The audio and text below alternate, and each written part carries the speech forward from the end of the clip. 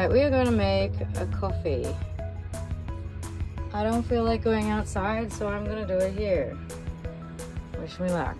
And everything is kind of everywhere, and it's feeling quite busy and cluttered. So I need to sort this shit out. I'm going with the Elite brand. Okay, we've filled our little capsule. We're gonna fill it in the thing now. It's all packed in nicely now, and I'm gonna pop the lid back on. Now I've got to heat some water, so we'll move that away. Take this failure. Right, where's my little water can go?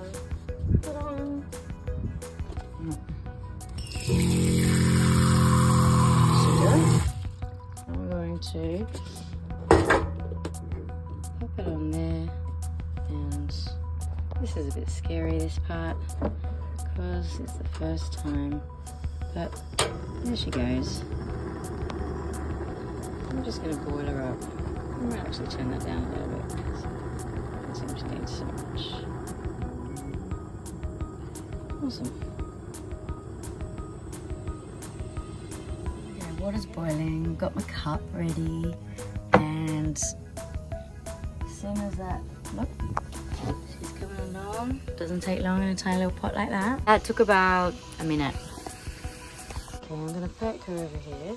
I'm actually gonna pour her in this capsule like so. Okay, I put her on nice and tight. Now this thing's gonna come out. Ta-da! And now it's a pump. Like this is very hard one single-handed, I have to say. Okay, so now I'm gonna pump, but I'm actually gonna just. That. You gotta do nice and slow, they said. That was like a serious arm workout.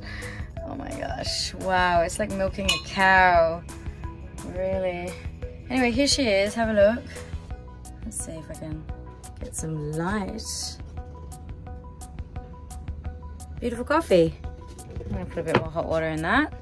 Put my macadamia milk in and Bob is your uncle, Fanny's your aunt. I made my first coffee.